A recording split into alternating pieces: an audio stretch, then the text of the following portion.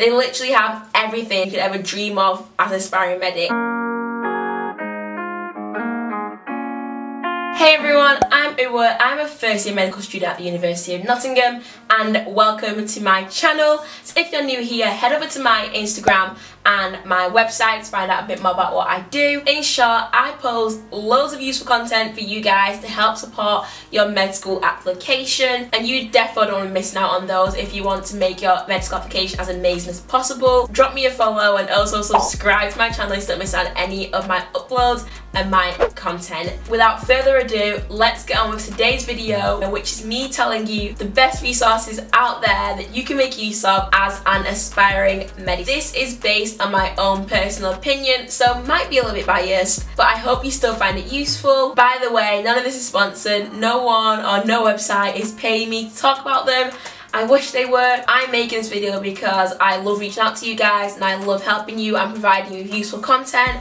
So yeah, with all said and done, let's get on with the video and here are the best resources that you can make use of as an aspiring medic. So the first thing on my list, the absolute number one top tier, the bible for all aspiring medics is the medic portal. They do a lot for aspiring medics and to help your application. They give you so much information, they give you so many tips, advice, they have UCAT practice questions, they have their own UCAT practice bank, blog posts, people give you their experiences. They literally have everything you could ever dream of as an aspiring medic to help you with your application, including information on each individual med school. And also subscribe to their mailing list. I subscribed in first year college, so way back in like 2018, and I'm actually still subscribed now. I don't know why, but I just don't feel the need to unsubscribe. They give a lot of useful information about events going on, etc. They're absolutely great. Um, yeah, head over to the Medic portal and have a look what they've got to offer. Another thing that I found like last year summer when I put one of my posts together is the Brighton Sussex Medical School website. I think that's what it stands for. It's BSMS. They've currently got some virtual work experience going on, which is absolutely great right now during these pandemic times where you can't get any physical work experience. Um, so that's one of the things I know they're doing. They also do a few other bits, but personally, I've not really had a massive look into those. I just think that virtual work experience is an amazing opportunity. And then the aspiringmedics.co.uk, they again do a lot for aspiring medics, as the name suggests. They have links to a lot of different other websites you can make use of and things you can benefit from. So again, another resource to check out. Another sick website and sick resource is the Medic Mentor. So they're a group of like doctors, med students and teachers. There's loads of different people Medic Mentor who are there to help and support your medical application. They work with individual people, they work with schools, um, they have so many different shoots on there and it's just a really great resource to help boost and pretty much provide tailored support for your application. Hopefully at your college or sixth form or your high school even, you've got some sort of medics, dentistry and veterinary sciences coordinator or maybe you're able to speak to med students or doctors you know who can help your application but if you've not got that at your disposal you've got the medic mentor who provide you that support that you need. That's another mint website you can go check out and go make the most of. I'm going to leave links to all those websites below by the way, I forgot to say before. Another one is the Medical Schools Council. They're basically like a voice for med schools, but they also support aspiring medics, they support your med school application in the sense they give you a lot of information about med schools that you would potentially be applying to. So they tell you like what sort of UCAT or BMAT score they look at, whether they look at the UCAT or the BMAT or even in very few cases neither. They tell you about the rules and expectations of work experience each different med school which is going to be really useful right now especially as a lot of the med schools have changed their work experience requirements in response to the pandemic. They tell you if the med schools consider your personal statement or not in the application process. Also what sort of interviews that med school does, panel, MMI, etc. They give you a lot of information about the med schools and it's really useful to look at before you apply or before you start going to open days just to give you a flavour of what the med school is like because every single med school is different and this website can really help you inform your choice of where to apply. So a website that I used for my MMI practice was, I think it's University of Sheffield, I can't 100% remember. If it's not, I'm going to link it below anyway so I've got it bookmarked. But they had some really, really tricky MMI questions that was harder than anything I got on the day. But because I could answer those and some other ones of course, I felt well prepared going into my MMI interviews um, so I'll leave a link to that and you can check those out. It comes with like what the student or what the applicant would get and it comes with what the interviewer has the interview card. So basically it's just a really good resource to support your practices. Another resource which I absolutely love that I've talked about in the video is Blackstone Tutors. It's, it's slightly outdated but it still gives you a good idea but they have a whole bank of interview questions that you can just make use of and go through at your own leisure um, for the different med schools. So another one that I didn't write on my list but comes to my mind right now is Six Med and that gives you a whole bank of interview questions for the different med schools but also tells you some history about med school and some information about the area that med school is in which is really useful for doing your research before your interviews in case you were to get asked about the city or about that med school. Okay so that's a lot of websites that hopefully you find useful and find really informative. So now I'm going to talk about something that I absolutely love and I definitely think you should make use of and that is social media.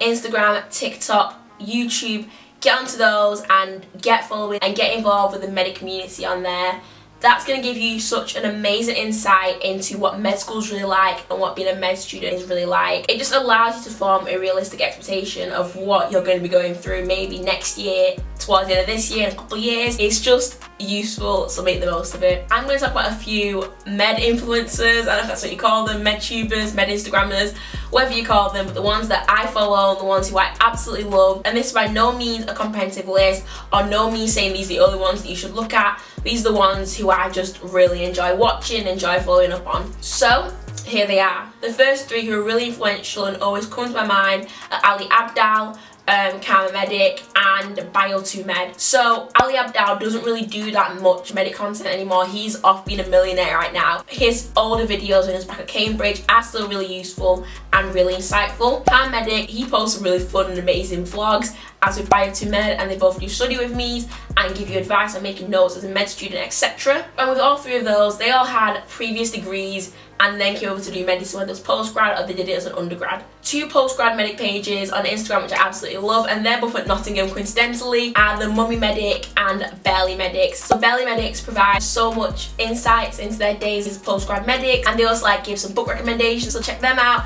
As with the Mummy Medic, she provides quizzes every so often. Her page is just so fun and relatable and she's always something you can engage with so I absolutely love Lorraine's page and she's such a lovely person as well. This is something that I love about um, the med community per se. I talk to a lot of these people and they are just so amazing and again it's networking, getting to know people, getting to relate to people. I just really love it so yeah you should make the most of that too. Some other pages, Journey to Med, those girls are absolutely incredible. Their videos are so fun and engaging and they are always constantly creating new uploads, new content. I actually stand them. I don't know how they're always doing it. They're still smashing med school and smashing the social media side of things as well. So absolutely amazing. Jess Oslo she's incredibly influential. She's got a really useful blog post as well. This has turned into some sort of cringy appreciation video. Um, but oh well, it is what it is. so another Instagrammer, Malone, um, he provides a lot of medic content on his stories and a massive thing that I absolutely admire Malone for is that he wrote a book, Mind the Gap, which tells you about conditions and how I'd expect to see them in melanin and darker skin tones. So as a aspiring medic, I think that's definitely useful to have a read of, but it's definitely something that I make use of as a med student right now when we talk about certain conditions. And it's appeared in some of my lectures as well. They've made reference to his book. And then Dr. Tolu, he provides days in the life on his reels, which is so fun to watch. If you need some sort of virtual experience over to his page because he gives you those really useful mini videos of what his days in the life of the doctor's like. And then Dr. Emeka, I'll leave his picture on the screen. I found him like probably four years ago or so I want to say when I was watching junior doctors um, on TV and if you need a reason to do medicine again his picture's right here on the screen and then um, the last two, The Medic Life, run by Dr. Bacter. I am so sorry if I pronounced that wrong, but he has loads of different things going on all the time loads of work experience opportunities loads of UCAT prep loads of personal statement advice interview advice anything medicine related that you can think of he's got it on his page and that is definitely something that I made use of when I was aspiring medic and like I'd even DM him when I was preparing for my interviews and even though he's got thousands and thousands of followers, he would still always get back to me and always respond to me. And of course, not just me, he's doing that too. He's doing that to all his followers so which is absolutely great. He reached out he engaged with you and that's exactly what you want from an influencer. And then also the medic hut they have an amazing array of opportunities for aspiring medics work experience different conferences they hold from time to time that you can benefit from as aspiring medic. I quite frequently share their stuff on my page because the things they offer are top tier. So yeah check those out. And finally if you thought i was going to talk about a whole load of social media pages and med students and not talk about myself, you thought wrong. Head over to my Instagram to see all the amazing content that I put out for you guys to help you guys and support your application.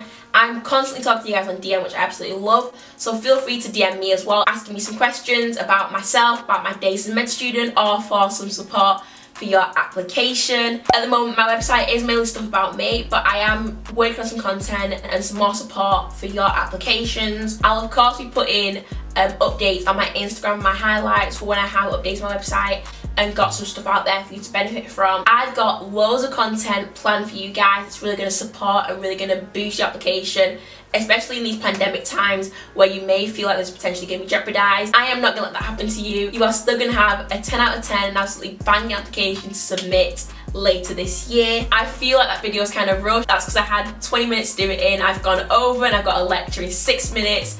So yeah, I'm going to end it here. Thank you guys for your support and for watching the video. I hope you did find it useful. Remember to smash that thumbs up button and subscribe to my channel. I'll see you in my next video. And if you are applying to medicine anytime soon, I want to say good luck. You have 100% got this.